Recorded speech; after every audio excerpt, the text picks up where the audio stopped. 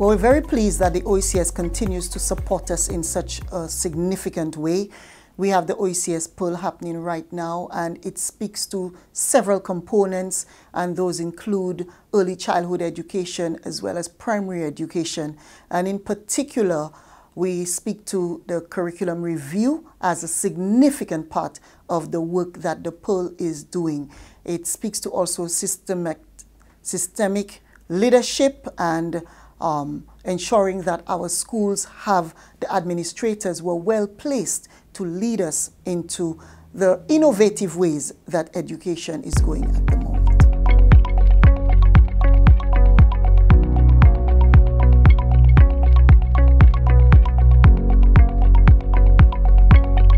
Well, our curriculum is dated.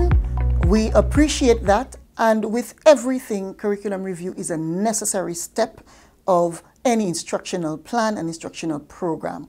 Even more so on a national scale as will be done in St. Lucia. And so there is consultation happening with various stakeholders to ensure that the curriculum is significant in terms of instruction, assessment as well, and the teaching and learning practices that will enhance our students' education.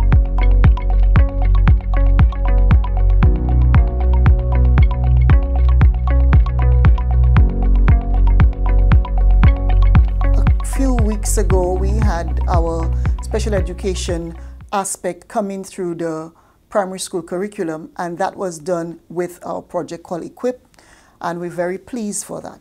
What we're doing now is a review of the entire curriculum. So all the various aspects are going to be looked at because we can also appreciate that with um, ICT integration now, it is significant to look at how much content is in the curriculum. You know, are the benchmarks in terms of the, the content areas for the various grade levels appropriate? Is there a need to review various subject areas such as mathematics and English and social studies and sciences? Because we have to look at how the teaching and learning has been impacted. Is the curriculum too heavy in terms of the various concepts that we're looking at?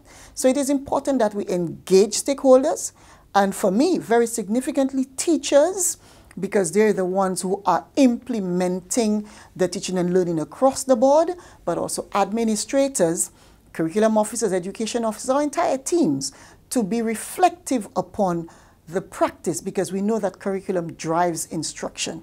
And if we do not get it right in terms of what the curriculum entails, we will not get it right in terms of instruction.